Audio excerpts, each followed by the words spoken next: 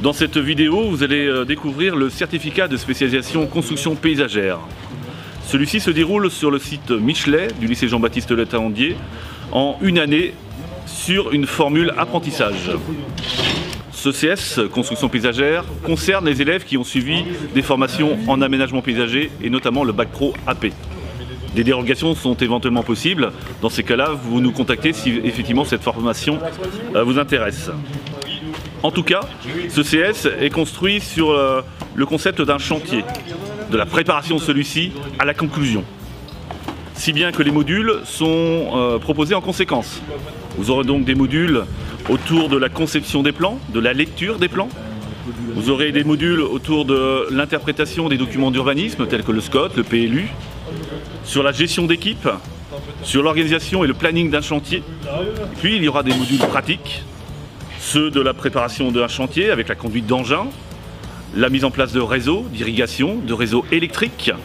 Vous aurez également des euh, réalisations à effectuer autour de la pierre, du bois ou du métal. Des modules sont prévus en conséquence. Par exemple, derrière moi en ce moment se déroule un chantier avec euh, la conception d'un muret en pierre, la conception également, la réalisation d'une terrasse en bois et d'une euh, place pavée. Moi j'ai ma petite entreprise de maçonnerie taille de pierre euh, à côté et donc je viens à peu près une fois par mois euh, pour encadrer les, jeunes et puis euh, sur un chantier sur un chantier école. Donc c'est du concret directement. On va essayer de travailler différents matériaux, la terre, la pierre, la chaux, pour maçonner un petit muret en schiste et grès, le grès armoricain, et puis un petit couronnement en granit que les élèves ont taillé avant. Et puis euh, la partie pavage hein, en granit, euh, encadrée par, de la brique, ourdée au mortier de chaux et posée sur lit de sable. Hein. donc on va essayer d'utiliser différentes techniques qui sont complémentaires avec ce que les jeunes voient en entreprise. Et donc là on va vraiment se focaliser sur le travail à l'ancienne, on va dire, maçonnerie à l'ancienne.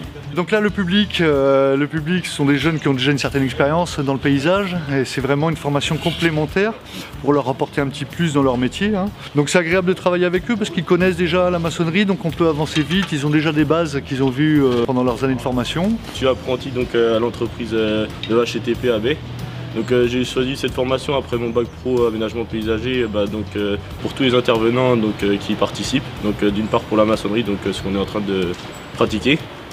ensuite, bah, dans l'avenir, je veux devenir salarié dans une entreprise de paysage et pourquoi pas un jour monter ma boîte. Je suis à l'entreprise Leroy Paysage à Bru.